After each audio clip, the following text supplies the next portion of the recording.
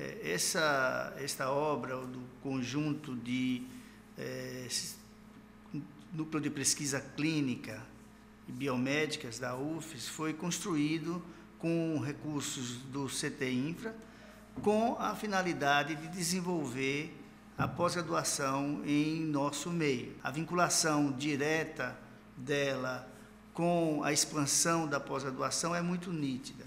Nós, eh, nosso programa de pós-graduação em ciência da saúde, ele teve o seu desenvolvimento ligado à construção desse prédio. Nós pudemos, desta época de 2009, 2010 para cá, nós pleiteamos o que foi a ampliação do mestrado para o doutorado, nós aumentamos o número de vagas dentro do, do programa e aumentamos a capacidade de produção científica por conta dessa estrutura que a gente tem aqui disponível. Nosso programa, que na época era nota 3 na avaliação da CAPES, passou para nota 4, quando a gente, assim que começamos a usar isso aqui, passamos para ter o doutorado, e hoje nós somos o programa nota 5, que é tido como de excelência na, na avaliação da CAPES.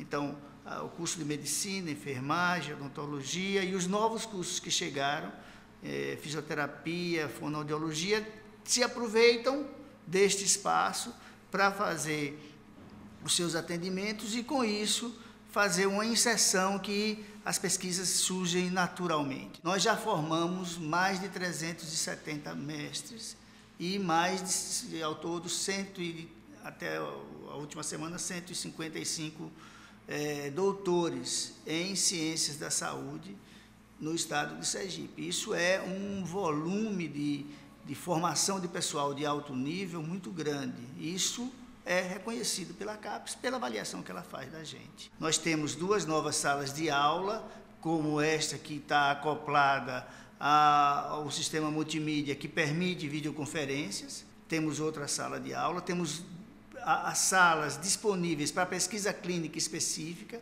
laboratório de, de informática, salas de, de reunião para os docentes e seus grupos de pesquisa e uma grande maior número de salas de atendimento, porque isso, o número de atendimentos que a gente faz, viabiliza que novas pesquisas possam surgir, possam ser desenvolvidas. Então, nós temos aqui é, pesquisas de ponta sendo feitas na área de hepatites, na área de doenças infecciosas e parasitárias, com hanseníase, com ah, doença rotavírus, que, que, que, que eu trabalho especificamente, diabetes, um, um, grande número de atendimentos que precisam, por exemplo, um grupo de pesquisa de endocrinologia, às vezes tem que trazer os anões de, de, que são de Itabaianinha, que é um grupo de pesquisa com repercussão mundial, às vezes eles têm que ser atendidos aqui. Então, tudo isso, este prédio propiciou o desenvolvimento.